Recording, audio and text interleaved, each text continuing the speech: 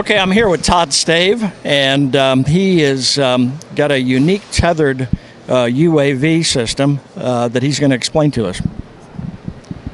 Thank you, Art. So, yeah, my name is Todd Stave. My company is called Blue Vigil, and we supply GlobalFlyte with this tethered uh, power system that will uh, be able to power just about any commercial UAV with a uh, with as much power as they need to stay in the air for as long as they need to stay in the air. Unlimited flight duration. Uh, this is a, uh, a system that basically runs off of either 110 or 220 AC power that comes from a typical pull start gen set, like a Honda generator, and takes uh, up to 1500 watts of power, puts it up this teeny little spaghetti like line, uh, and uh, converts it to 24 volts that goes onto the drone. So this drone here is a uh, DJI S1000, although it will work with just about any commercial aircraft, uh, 24 volt aircraft, including the Inspire, uh, the Inspire 2, the Matrice, um, Yuneec aircraft, um, anything really that has a 24 volt uh, flight uh, operating system or, or um, electrical system. And inside the box here, there's a spool of, of tether. It's about 50 meters long, 150 feet.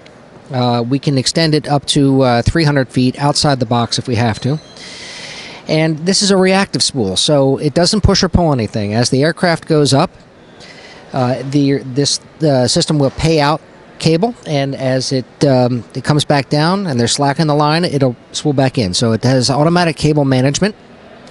Uh, and as long as there's power running through it, that aircraft will stay in the in the air. So if you have a, a need for surveillance or uh, say a communication uh, antenna, you need to hold that in the in the air for an unlimited flight duration, or lighting, or anything like that. This is a perfect solution for you. It'll stay hovering above, say, a mobile command center for as long as the incident is is in progress. You can have uh, your drone in the air, in the sky, for hours and hours and hours at a time without having to bring it back down. In most cases, uh, because drones will have a, uh, GPS lock and will stay in relatively uh, stationary position, you really technically don't need to have somebody flying it. You, the uh, the pilot, the operator, can be inside the mobile command center, operating the drone with whatever controller comes with the drone or was with the drone, moving the camera around, getting whatever data that you need, and not have to worry so much about uh, where the where the drone is going to go, or if it's going to fly away, or if there's communication loss.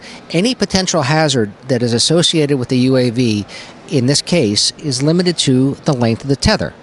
Um, if something happens and there's say 50 feet of line out there, anything that's more than 50 feet away is not going to be affected by anything that may happen with the drone. So it's very easy to get uh, exemptions uh, on Part 107 um, operations.